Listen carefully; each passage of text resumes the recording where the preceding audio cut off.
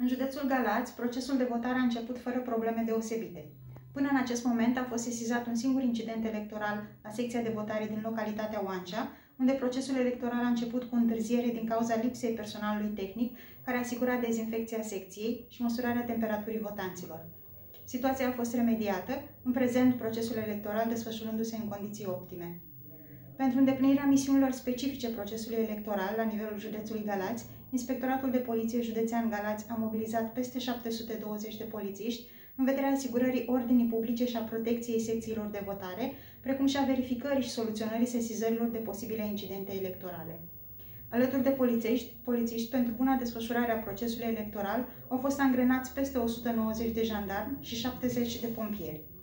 Alegătorii și toate celelalte persoane implicate în procesul electoral trebuie să respecte măsurile speciale de protecție stabilite în contextul pandemiei de COVID-19, astfel încât să fie evitată răspândirea virusului SARS-CoV-2.